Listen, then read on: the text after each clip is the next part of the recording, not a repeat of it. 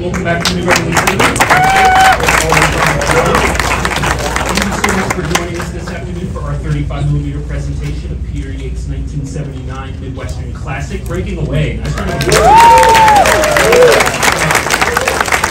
Really happy to showing this, um, particularly the just as strong a coming of age film as it is a sports movie, even you know perhaps even more so. Um, yeah, a very big deal. This movie back in its day, uh, you know, nominated for I believe five Oscars on the Academy Awards, um, including Best Picture, one for Best Original Screenplay. Um, and yeah, uh, I'm just a big, big fan. Um, you know, let, me, let me be self-indulgent for just a quick minute. Um, you know, very personal for me to run. I'm from Indiana. I went to IU, so to have Columbus in Indiana so lovingly represented, uh, all the specific quarries, you know, the campus, um, it was a very big deal. Just whenever uh, discussing movies with anyone on campus, um, this movie would inevitably come up in conversation. So almost like watching it was almost like a prerequisite for residency or something. So um, yeah, uh, very, very cool. Very happy to be showing it. Um, there's so much going for it, uh, particularly the cast. Um, speaking of which, um, we are lucky enough uh, here at New Beverly uh, to be having a couple uh, key cast members um, in the audience today uh, who are going to say a brief uh, few words to introduce the film. Everyone, big New Beverly welcome for Dennis Christopher and Paul Dooley.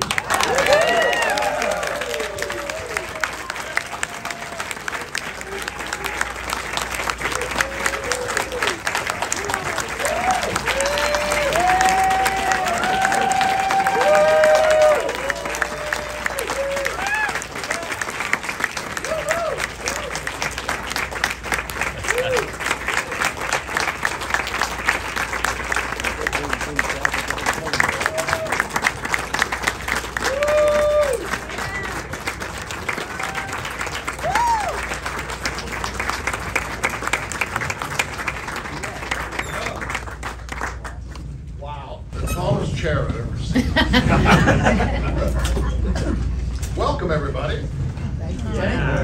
We have almost a full, we have almost a full house, it looks like. Yep. Full enough. Full enough We for love you me. guys. What? Because we love you guys. Uh, Well, it's a great reunion for me because uh, although I keep in touch, Dennis and I don't see each other every day. Uh, And there are tons of friends here that know us both. And uh, this is, this film is the love of my life. I've made about 75 films and this is the only great one. Uh, Anyway, uh, oh, I wonder if uh, host is going to ask us any questions.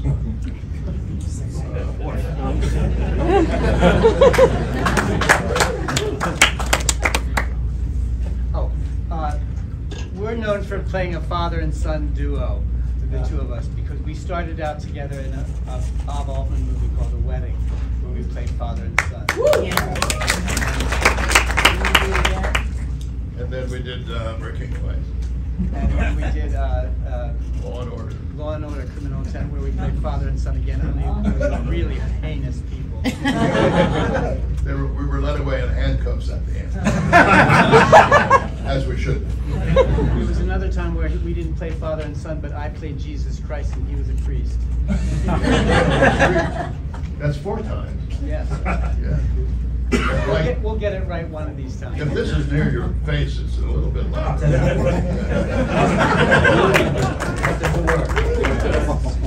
Works? Works, yeah. Okay, sorry. Was there a rehearsal period, uh, like for breaking away, uh, beforehand, just as far as like working together, did you already have that familiarity from the first time you collaborated?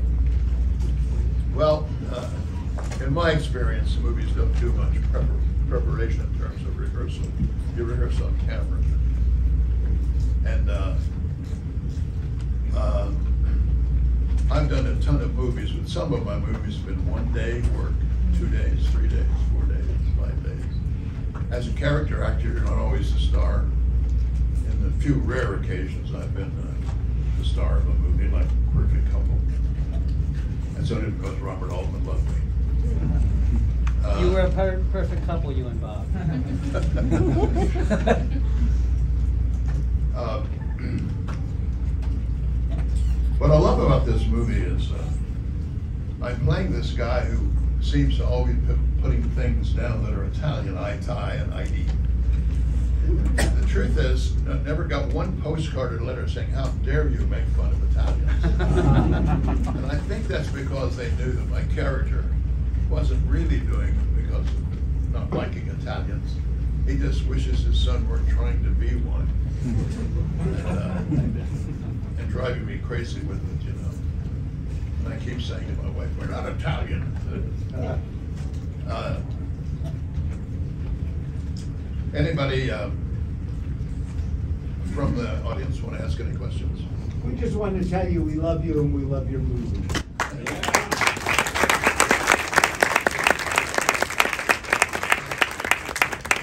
It was a great and I had to steal the focus from the four young actors who were playing the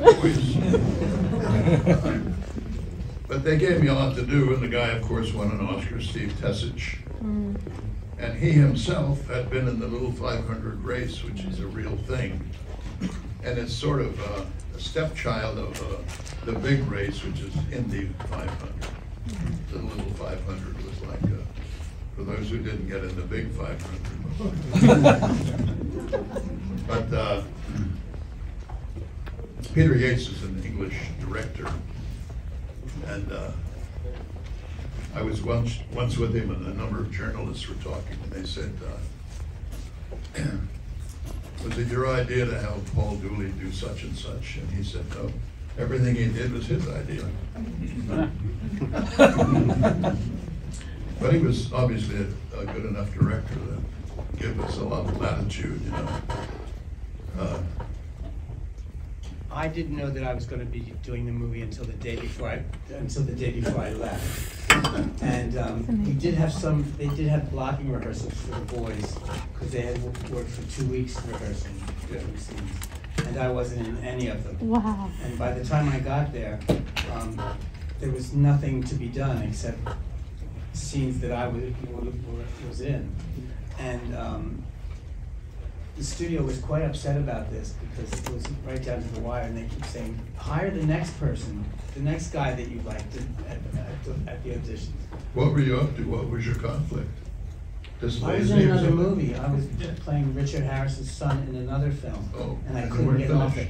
Um, my agent had lied and. uh, The agents had lied too, to the studio, so they got in in cahoots with each other and were lying back and forth to to make, make, make sure that I could do this movie. And I had no idea because we never read, I never read the script, they only gave us sides mm. at our, at our auditions. Dennis and I had worked together once or maybe twice, and we knew each other quite well. So that worked out really great. And I've always been a giant fan of Jackie Earle Haley. I mean, mm. Who has it. Yeah, he's just the best. And then there was Danny, so. By the way, I'm- I'm sure some of you are actors, but sides are something where you get, you're handed three pieces of paper, four pieces of paper, the old days. Onion skin, papers that melted in your hand. And that was your audition material. So, uh, I'll tell you a, a quick story. Uh, I, I was doing a movie, uh, with Robert Altman called Perfect Couple. And I was in almost every scene. This is the first movie I ever had the lead in. It was a, a kind of a rock and roll theme. And, uh, during the last uh, week or so of that movie, uh, my agent kept saying, these other people want to see you for a new movie. Uh, I said, well, I'm in every scene, I don't think I can get there, and I really frankly didn't care, I was kind of blowing it off, who is this mysterious movie? Anyway, it would- turned out to be Breaking Away. But, uh, uh, finally I said, well, we're gonna wrap the movie on Friday, if they could see me Friday after, after we wrap, and I hear it's gonna be a half a day, so maybe it's feasible. So I, uh, they did give me three pages with words on them. I didn't memorize them because I think I'm going to be reading. It's a table read, as they call it.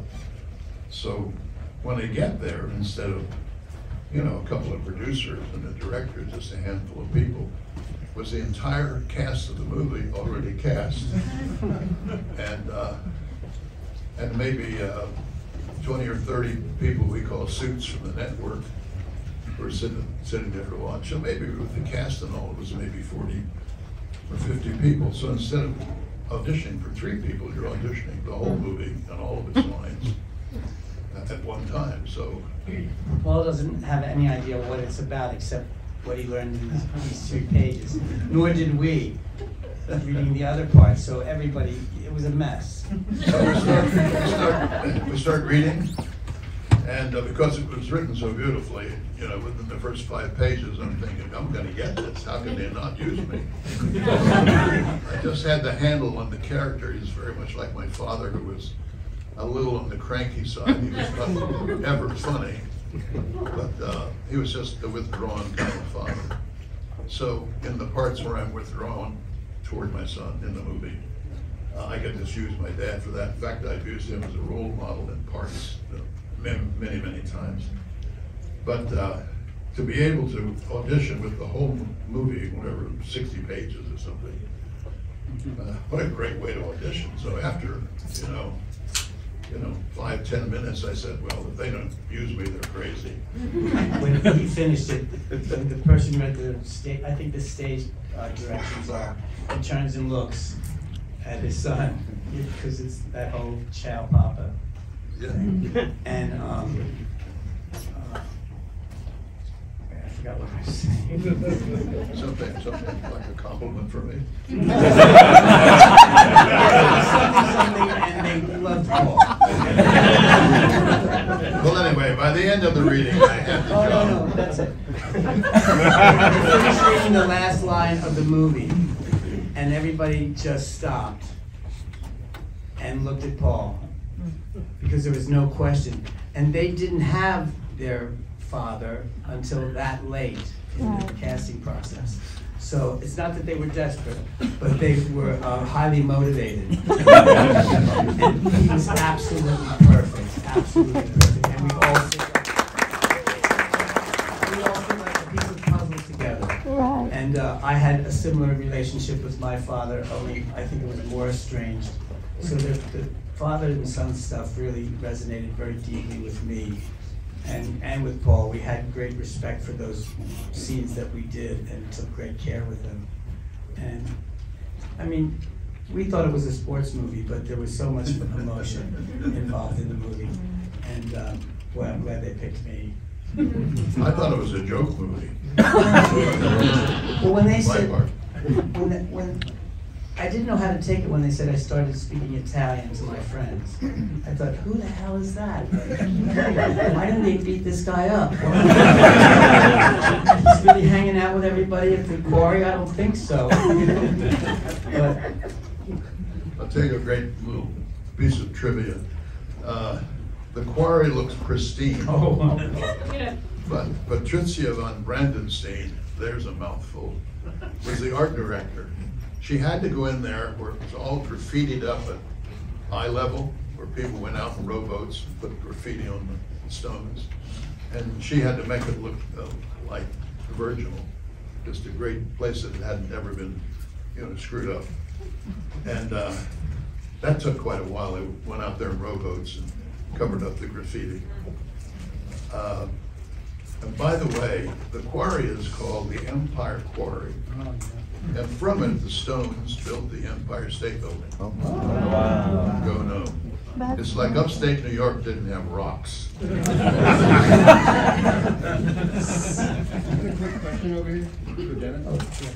How much bike riding had you done before this movie? Like, what was your experience? Um, not much, really not much, um, not much at all. They brought this bike in at one point, I was doing this movie where I was playing Richard Harris's son, and there was some trouble on the set with Richard being a little bit temperamental.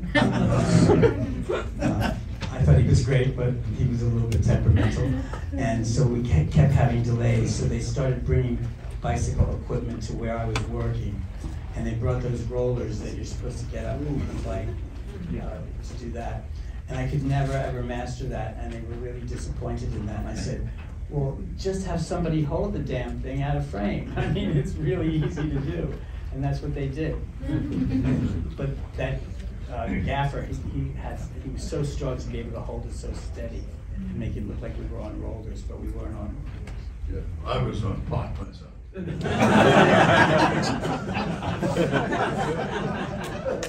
Well, I think we've come to an end of this introduction.